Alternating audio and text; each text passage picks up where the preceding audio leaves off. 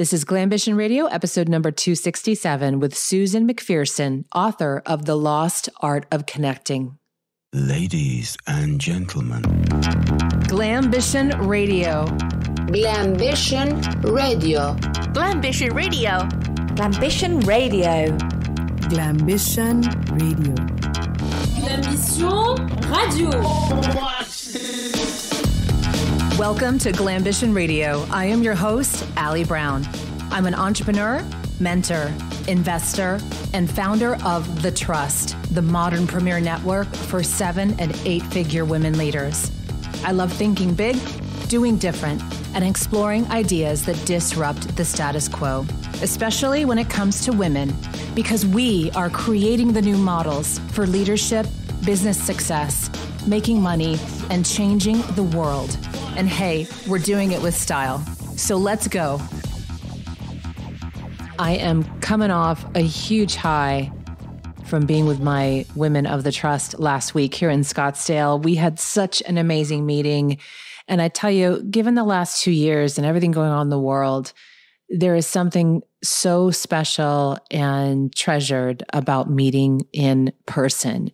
Things happen that do not happen online we love the online world. It's been a huge blessing for us. It's great to connect with people who can't travel or we can't see.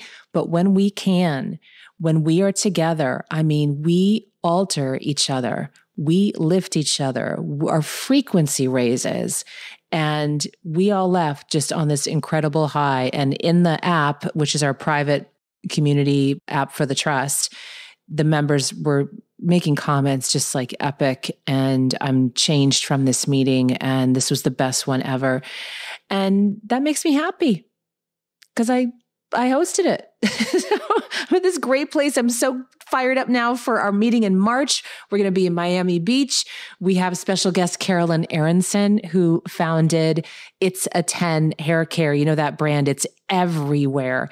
And she's still CEO as well. And she's going to be joining us in Miami. So Look, if you are a woman entrepreneur who's reached the seven or eight figure range, or you know one who is and she's looking for something that's no BS, she doesn't need a coaching program. She just wants to be in this coveted space with these amazing women that I hold the space for, for everyone to connect. Join thetrust.org. We would love to consider you for the group. Now, connection is everything to my guest today. I'm very excited to have Susan McPherson with us. She's a new book out called The Lost Art of Connecting. Couldn't have come out at a better time. This ain't her first rodeo. She has 25 years of communications experience. She has so much great experience at all kinds of corporations. She's contributed to Harvard Business Review, Fast Company, Forbes. I mean, she knows her stuff. So this is going to be great. Two quick reviews, though, I want to read that my team pulled me from Apple Podcasts. Thank you to Meg Myers, 5678. She says, this is the only podcast I make time to listen to on a regular basis. As a busy mom and entrepreneur, I don't have time to waste. And hearing each woman's story reminds me that success in business is never a straight line for anyone. Thank you, Team Glambition. And thank you to Albanian Yogini this podcast is ahead of its time, keeping you educated, connected, and informed. If you want to succeed in your field as a woman, you've come to the right place. I really appreciate the reviews. I know it is not first on your mind when you wake up in the morning saying, I'm going to leave Ali a review on Apple Podcasts. But can I tell you, it helps so much. It helps the algorithms. It helps more women discover this show and realize, oh my gosh, there's real conversations happening for women leaders. I don't need this boss babe stuff, right? We're over here. We're doing our thing. We want more women to discover the show. So that helps us. So karma is good. Pay it forward. Go leave us a review on Apple Podcasts. We really appreciate it.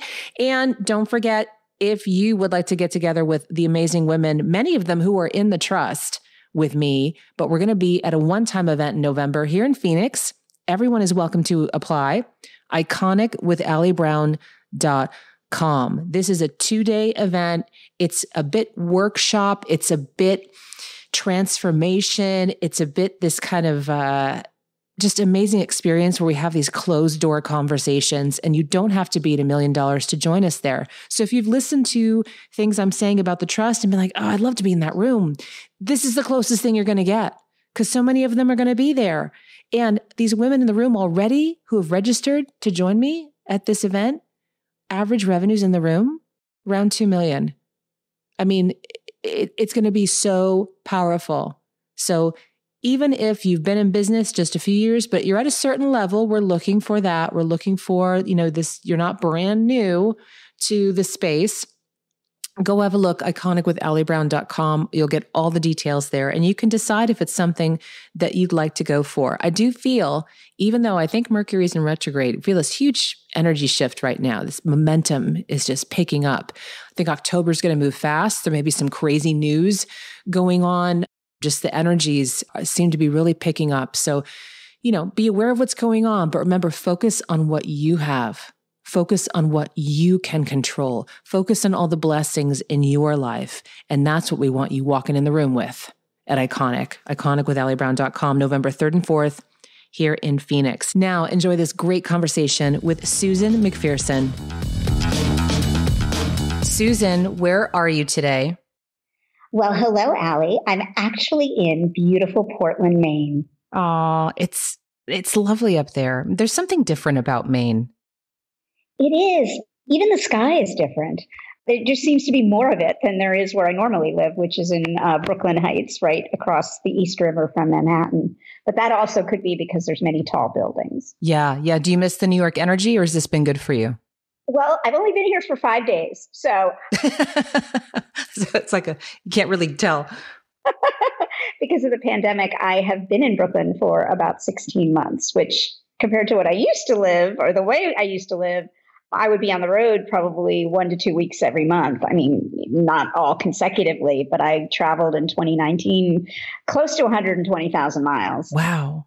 And so to go from that to zero is quite a, a, change. And so coming up to Maine is like a wonderful thing. I'll, I'll leave it at that. yeah, I do miss, you know, what I always, uh, well, especially as, as a, you know, I, I have twins, they're eight years old now, but that used to be my time, that time in the air in a sealed steel tube was like my only time that no one could reach me. And I would do the best work up there too sometimes. I would get so much done.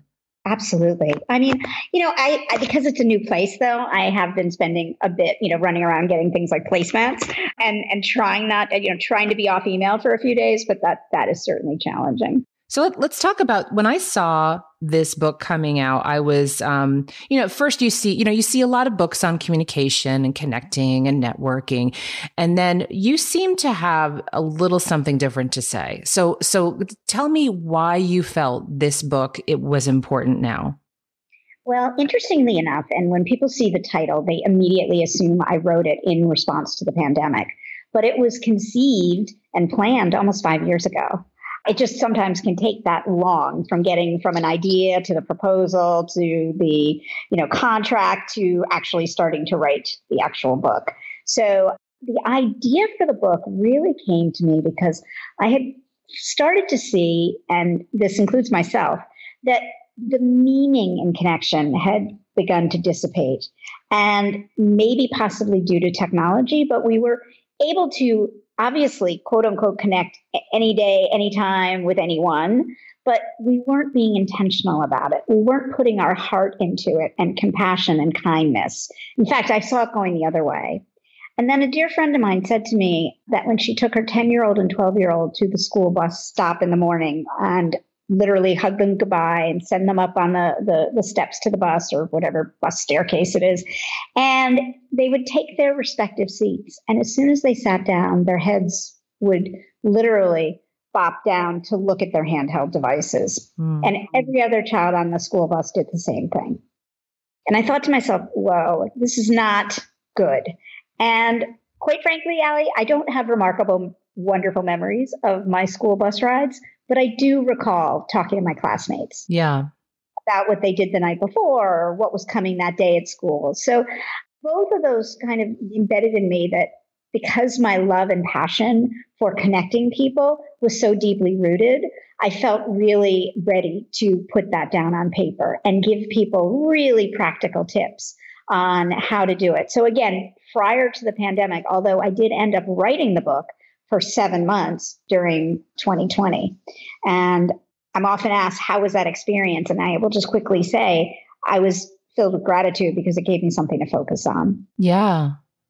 And and the perfect book at the perfect time, it was I, I assume that as well. When I saw it, I'm like, oh, this is perfect because someone is responding to this disconnection that we're experiencing. And and watching the kids has been heartbreaking. The devices like you said first of all and now a lot of them are growing up not you know being as close to others as usual and making eye contact and those skills that i know for my children you know communicating connecting for me that humanity is the most important thing i want them to yeah. experience. And it's a thing that you can't replace that with ai this is no. the human gift. No and I, I, you know, I grew up in a household where both my parents were serial connectors, but they used the telephone and the manual typewriter. And I, may I say, rotary type telephone. We didn't have a push button telephone in those days. And they did it from the heart. They did it without any kind of hidden agenda of, oh, I'm doing this to get something back. It was to put a little love out into the world, to let people know that they were thinking of them, and nothing else, truly.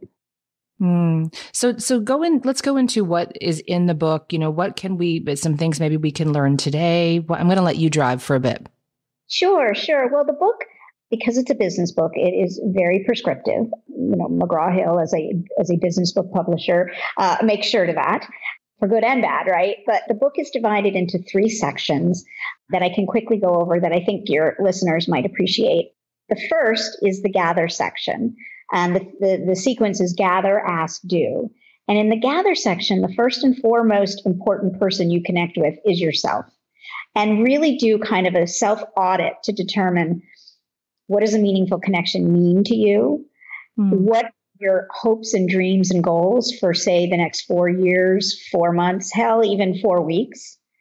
And who is it that you want to connect to or reconnect with that might help you meet those goals or reach those goals, as well as how can you be helpful to them? And what are your superpowers that you have, your secret sauces that you can go ahead and lead with to be helpful to others? Because a key underlying theme of the entire book is leading with how can I be of help? How can I be supportive to mm. others? Mm-hmm. Because I really believe and I've witnessed that when we lead with how we can be helpful, the world helps us.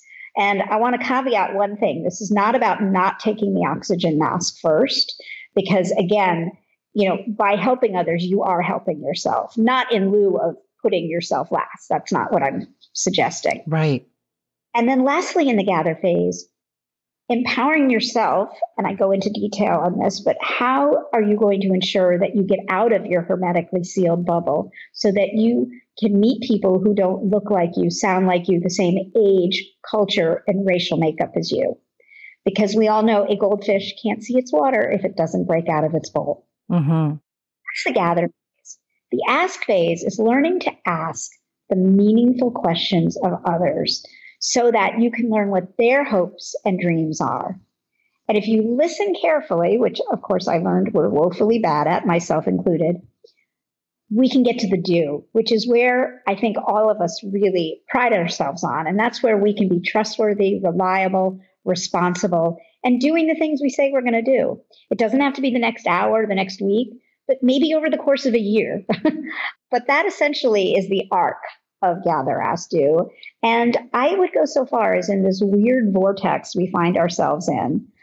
You know it feels a bit like groundhog's day with with covid but i think this is a real healthy exercise to do because we can when in our lives have we had a reset opportunity mm. to really flesh out what it is that we want and how are our connections going to help lead us there and vice versa? How are we going to help them?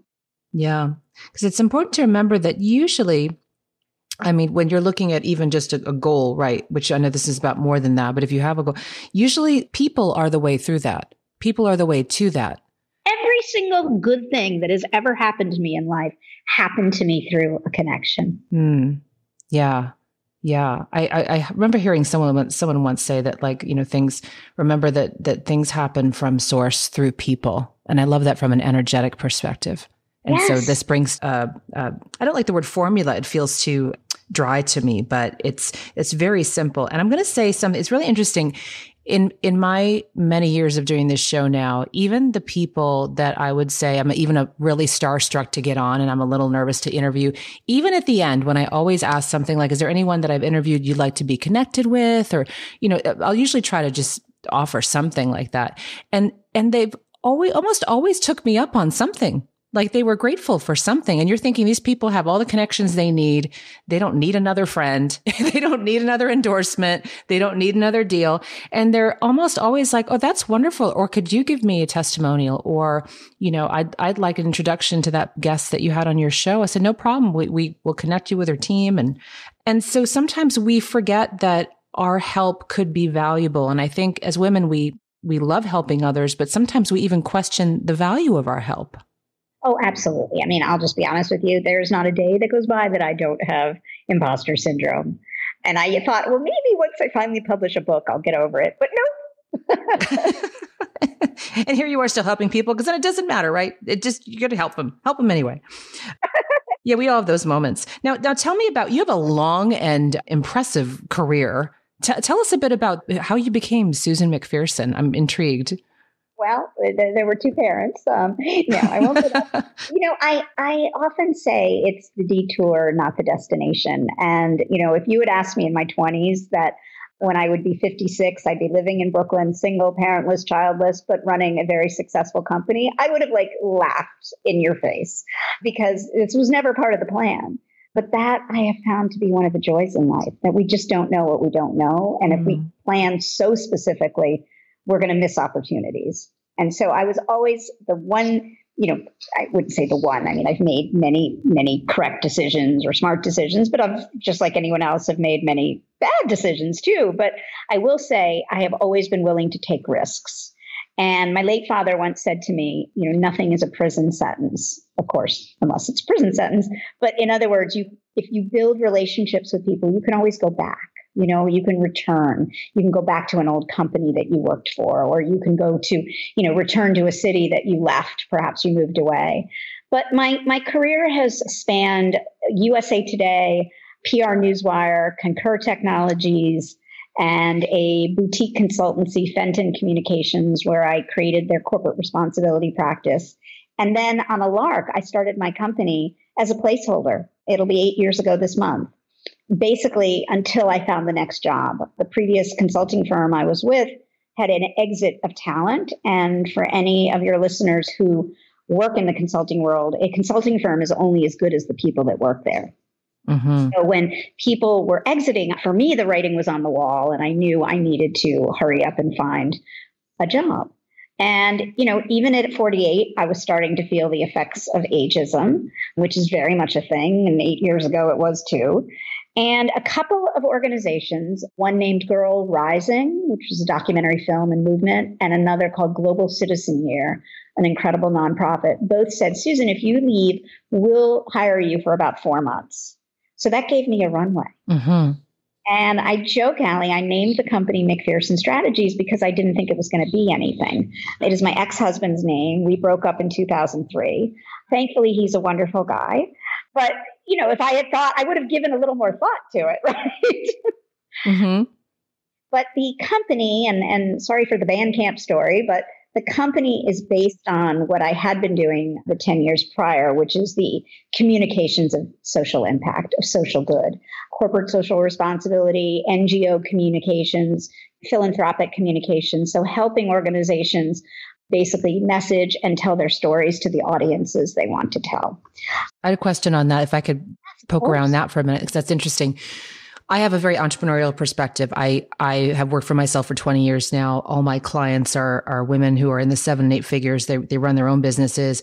When you go into the larger companies, how are they even approaching all this communication with with their employees with all the tech that they're using now? Like how do you even what are their what are your philosophies that you go in there and try to uh, share with them? Like what is the conversation?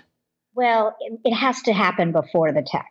In other words, because tech can take on a life, life of its own if it's not proper, if, if, if the messaging that they are trying to get out there is, I don't want to say so prescriptive, but carefully created with all of their stakeholders in mind, right? Because companies, certainly large multinational corporations, Fortune 500 companies, have so many different interested parties. You know, the communities they operate in, their employees, their shareholders, their clients, their customers, everything, their partners, their distributors. So when they do quote unquote communications, they have to be mindful of all of those parties, which is part of the reason why it takes so long to get anything done from the standpoint of impact mm-hmm. change. But the good news is what used to be a nice to have for companies now is a must have.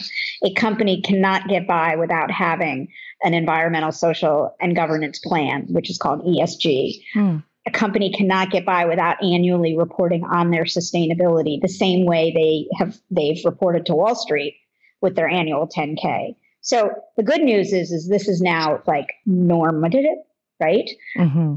Where it's a little bit more challenging is in startups who, for whatever reason, believe they, in the past, that they need to be profitable before they pay attention to impact. Yeah. That is changing because, you know, we're seeing, you know, everything is connected with climate and, you know, Gen Z and certainly millennials want to work for companies that make purpose and and corporate social innovation at the top of the food chain. Yeah. But we, if, if the company's already been communicating via all sorts of technology, the cat's out of the bag. I hate that statement. I can't believe mm-hmm. I just said that's out of the bag. Please rewind. oh, it's just like what we grew up saying, right? I know.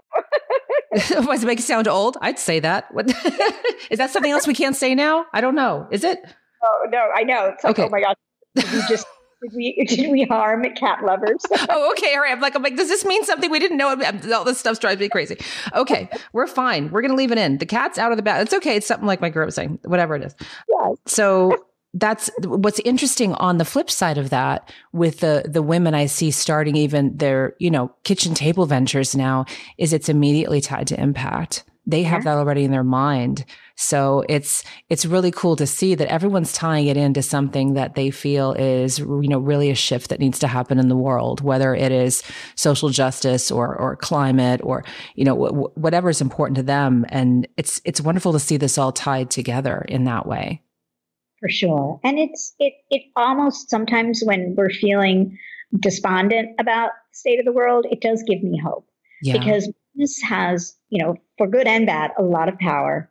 And if they channel it into the right causes, locations, areas, they can make a world of difference. Yeah. So if I, in some small capacity, can help them get there and then communicate that, then then I feel like my firm and we're doing a good job.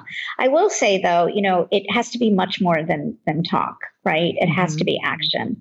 You know, it, it's one thing to make a bold statement; it's another to follow through on it. So, how does the book, the the Lost Art of Connecting, tie into your work you do with companies? Well, a couple of things. One, for the last eight years, and of course, when I was writing the book, it was seven years of my company's history. Ninety five percent of our business has been inbound. So, what that taught me was all the connections I made in my 20s, in my 30s, in my 40s that I stayed in touch with came back to help.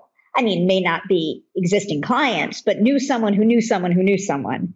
So that's a direct correlation. But a lot of the book is, you know, making meaningful connections is finding similar values in others, finding the commonalities in the uncommonalities. And we all have them. And oftentimes when we care about something, that will bind us together in some ways, right? I mean, you think of parents, they all universally have a love for their children, right? So the book has a lot of details on, you know, getting together, for instance, to fund a cause and, and using, making events to showcase a particular interest that needs expounding upon. So mm-hmm. I would say an absolute direct connection to our business, but a big part, a big theme in the book is the fact that that we used to have our work selves and our home selves, but now quite frankly, you know, we're, we're one self. And I joke that it's hard enough being one person. Why would you want to be two people?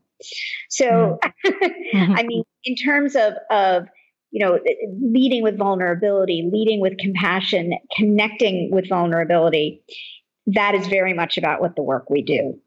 Yeah. How how do you recommend people keep that social connection in a time of this, you know, hybrid hybrid models are what we're seeing a lot of right now. So a lot of offices are saying, uh, you know what, we're not taking people back till later in the year, and people are continually isolated. What what is your advice for those people? Well, in the research for the book, I found out that companies that literally make connection a high priority, that those companies literally reap far greater productivity their employees tend to stay at the company longer and recommend the company to others.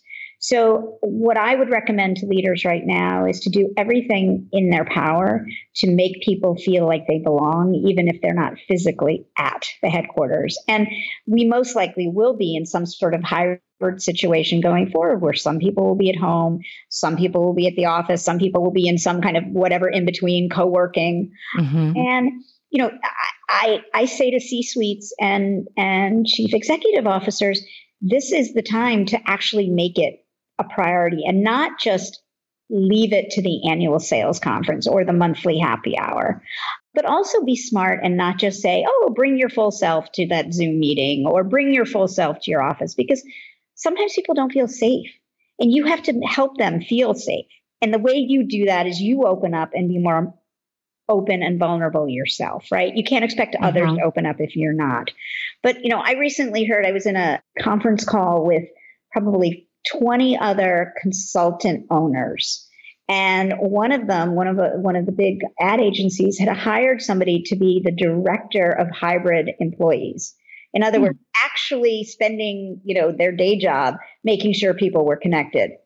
And the good news is when I when I heard that, I was going, you know, that's a good business decision. I love that. Yeah, because these people, yeah. if they they belong, they're going to be more productive. Yeah, because it is just weird. They're like in this weird orbit that they, yeah, it's just a strange time. Like I can't imagine now, you know, when I did work I loved being around people. Like I, I'm, I have a real problem. I, I, have these two sides to be like, I have like complete isolation. I want to live in a cave, but then like my little switch will turn on and I'll be like, oh, I need to be around energy and people. And it's, it's nice to have that option, you know?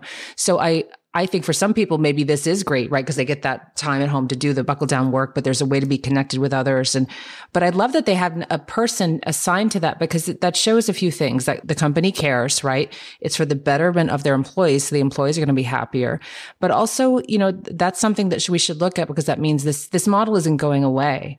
I know that there are yeah. people who, um, don't care to go back to the office. They're quite happy, you know, with this arrangement. And there's some that are dying to get back. I do, I do think the hybrid will, will be important. I, I actually have gone back to local employees and, and had right before this all hit. And now we've kind of found our rhythm. You know, we get together maybe once or twice a week. It's nice to see each other, know we're real. I love sitting in a room with a whiteboard and a group of amazing minds like that. There's still to me nothing like that. But then we can go back and get our nose to the desk work done. You know, I, I, I think it's that the lesson in that is thinking forward, thinking, how do we make this better for our teams? How can we help them perform better in this new world? And how do we open up each meeting with an icebreaker that actually leads people to be more open with each other as opposed to talking about the weather in Cleveland? Not that I have anything against Cleveland. Uh, it's funny. I have a, a, cute story. Years ago, I lived in Denmark in my during my junior year of college, and I lived with a wonderful Danish family who I'm actually still in touch with, all thirty some odd years later.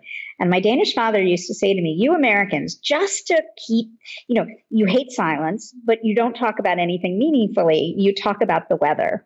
This was 1985, Ali, and I have to tell you, every conference call I've been on since and then, of course, this last year and a half with Zoom chats and Microsoft Team meetings, inevitably, that is the lowest common denominator. The weather. I guess, Susan, it's the only safe space left, though, when you think about it. we're scared to ask anything these days. The weather is generally a safe place. People don't have like rabid opinions on the weather. I don't know, but help me out here. I need to rethink this maybe. well, you know, you have a very good point there. I mean, you could talk about chocolate, I guess. but, you know, people, you know, there's very few people, oh, ice cream, you know, apple pie, right? Baseball. I mean, but I'm being silly. But no, it's, you know, we, my company, since what is eight years ago, I can't even remember, since 2013, we've been virtual. So long before the pandemic, we had already kind of cracked the code on how to have meaningful conversations via conference call, via via, you know, whatever app we were using online. So come March 2020, it was the one thing we didn't have mm. to redirect and redesign. But I do think it, you know, it, it really comes down to prioritizing and just giving that space, maybe five minutes at the beginning of every meeting to have some sort of deeper connection. You know, it could be a prompt as to, you know, after this pandemic's over, where in the world do you want to go? Or, hmm. you know, what was your favorite food growing up? Mm-hmm. Which gives you okay somebody's you know childhood and and and gives you a window into the world that they came from, but isn't isn't so invasive that you know you could make someone feel uncomfortable. Okay, got it. That's yeah, that's perfect. Everyone loves talking about food, travel. Yeah, mm-hmm. good. Good. Yeah, it's funny because I I tend to skip. It's funny because with my friends I'll have like really meaningful conversations with my clients I will, but sometimes with my team my mind's just, you know, when you're the boss, as you know this, yes. your mind's always on the agenda. You know, you just I, I have like 17,000 things we need to get through in an hour and maybe I should ask. I'm going to I'm going to I'm going to do that in my next call. I'll let you know how that goes. Oh, I would love to hear that. Thank yeah. You. Yeah. That's a good reminder for me because I, I get into my business mode and that's all I am. but again, I think I want to remind you and, and your listeners there's actual business benefits here, right? I mean, we assume we get on the phone, we got work to do, we got to get it done. But over the long arc, if your employees, if your contractors are more closely connected, even friends, they're actually going to be happier. Of course, that is yeah. generalization, but the research proves it. And I think what I forgot is that when we were in person all the time, it would naturally happen, right? You're, you're grabbing a cup of coffee together, like, oh, how's John? You know, and is your grandma better? And, you know, those things just happen more naturally in person because you have the breaks and, and the taking a breath and, and talking about what's for lunch. And, and I think, you know, working that now into the new normal. Yes is very important. It's a bit more, you have to work it in. It doesn't happen as naturally or, or, but you're, you know, you're showing how it can if you just make it part of the rhythm. Yeah. And I think you also need to be paying attention to people who may be a little more introverted and give them kind of a leg up as well as people who, who may be, you know, feeling shy or, you know, I certainly don't require my team to be on camera every moment of every day because it's ridiculous. We never used to be when we'd be on phone calls, right? So I try to let people be who they are, mm. you know, and and feel comfortable. On that same note, if if you know you're at a large company, it's probably important to be as visible as you can on these conference calls. But the people that run the business need to understand that some people are just not going to feel as comfortable and probably have very good reason. So you need to be sensitive to that. Mm. So, Susan, where can people learn all about the book, all about your work? You know, where should everyone follow you and, and pick up the book? What a lovely question, Ali. Thank you. Uh, the book can be found at any any online or physical bookstore that you favor, but the website for the book is thelostartofconnecting.com. And my company is McPherson Strategies, which is mcpstrategies.com. And then I'm on all the social webs at Susan McP1.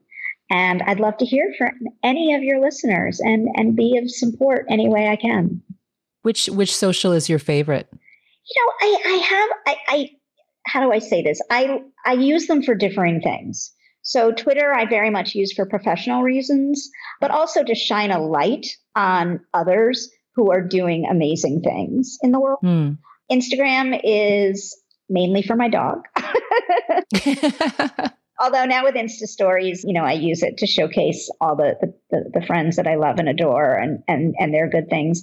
And LinkedIn is solely for work kind of thing. So I, I guess I would like them all. I have not explored TikTok. I'll be completely honest with you. And I don't, can, can we both agree not to do that? Can I, can we have a pact? also, cause I just turned 50. I'm like, I don't think I need to be on TikTok. You're a baby. Well, TikTok and then Clubhouse, I dabbled in a bit and I, I think the technology and, and the audio only is fascinating, but I, I just, you know, you know, when you are at that point where you're just at capacity and that just wouldn't fit. Something's got to give. yeah, I, I was I was distracted by it for a while, for a bit. I never got on a call. I was gonna like, you know what? This is a wait and see. Is this just because everyone locks down? They're all excited to talk. Like, I don't know what this is, and I'm not swearing it off, but I'm still kind of waiting to see what where that goes. Do you see a lot of people still using Clubhouse? I yes, I mean, I see I see a lot of people experimenting with it, and then I do know some people who are diehard, right? Like they Right. live there and they spend all day there. I would lose my mind, quite frankly. My dreams to be off the internet and everything. Like, just, I, I'm trying to bank so much that one day you're all going to see me just disappear. You know, no dissing the other platforms, but if you're on Clubhouse, you really can't be doing anything else. You can't be multitasking. Right. You can dive into Twitter, look at a few, you know, feeds that are of interest to you, and then leave. But Clubhouse, if you really want to like learn anything, you have to like listen for a long time. Yeah. It's a very dedicated space. But you know, kudos for people trying new ways, you know, to connect. I mean, they've really, you know, the the the founders really exploded during the pandemic because I think it gave people another way to connect. And I am all for any way people find connection. Totally. So, Susan, last bits of advice for everyone. Can you share three great pieces of advice? I certainly will. One would be, and I mentioned a little bit of this earlier, keep in mind, no matter where you are in your life, it's the detours, not the destination. Two, be eternally curious. There is nothing that can go wrong from being curious. And lastly, and something I fervently believe, and that is do your best to lead with kindness, compassion, and empathy because the world needs it. We all need it. Hmm. I love that. Susan, thank you for joining us. And we will be following you online. And we'll pick up the book, The Lost Art of Connecting, the Gather, Ask, Do method for building meaningful business relationships. Thank you. Thank you. What a joy it is and was to talk to you today. Thank you so much. Thank you for joining me for this episode of Glambition Radio. If you enjoy the show, make sure you subscribe so you automatically get my new shows every week. Also, I'd love if you left us a review so more women like you can discover us. We're on Apple Podcasts, Stitcher, Spotify, Pandora, and other major platforms. And I'd love to hear from you personally. Come join the conversation on social. Instagram is my happy place lately, and that's Ali Brown Official, but you can find links to my other platforms at alibrown.com. Glambition Radio is the elevated conversation for women leaders, and I'm honored you tuned in.